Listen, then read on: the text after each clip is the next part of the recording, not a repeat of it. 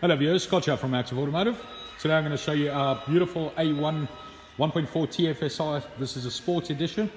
It's got full franchise service history and two keys.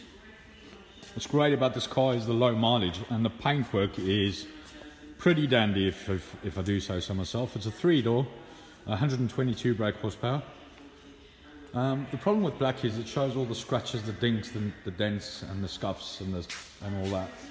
And uh, I must say this car is pretty neat um, for its age and mileage.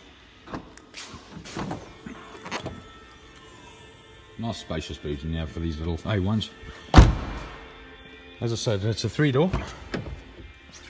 Dual tone grey cloth interior. Very, very good condition inside.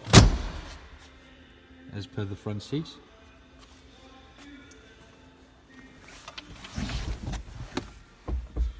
So it's coupled to a six-speed manual gearbox.